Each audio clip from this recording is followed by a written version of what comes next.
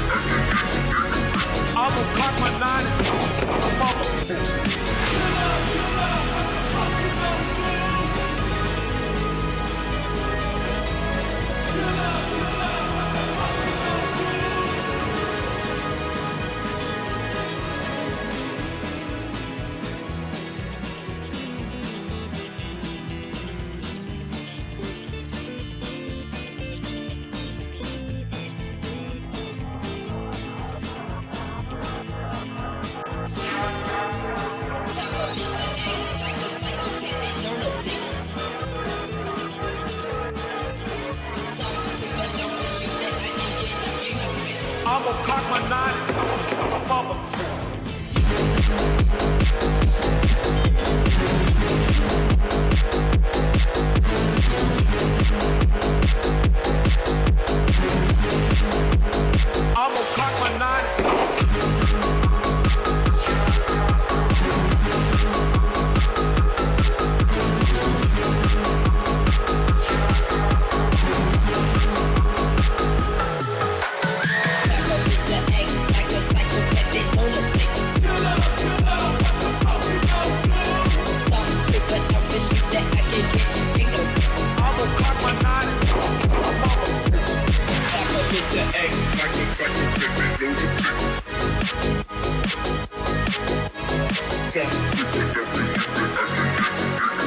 I'm gonna cock my nine.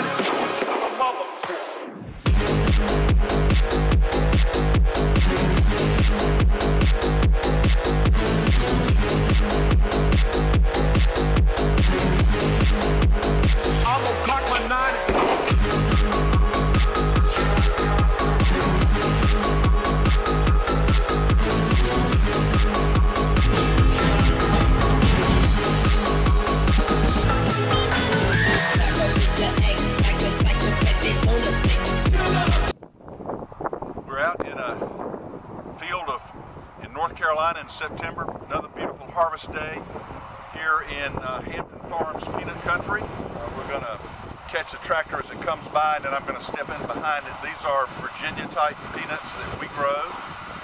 Hampton Farms for in shells, the best the best in shell peanuts around. Had a great growing season this year.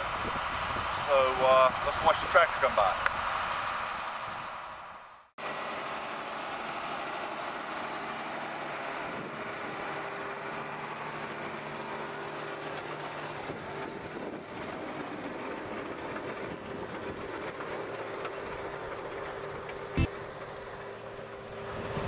As you can see, these peanuts grow under the ground. And what our farmer is doing right now is what's called a peanut digger. He, they uh, dig them up out of the ground and it inverts them, throws them up to the sunlight for two or three days where they do some field drying. And in about uh, 72 hours, they'll probably be in here with the peanut combine and pick the, pick the pods off the vines and put into a drying trailer. So this is absolutely a beautiful crop here.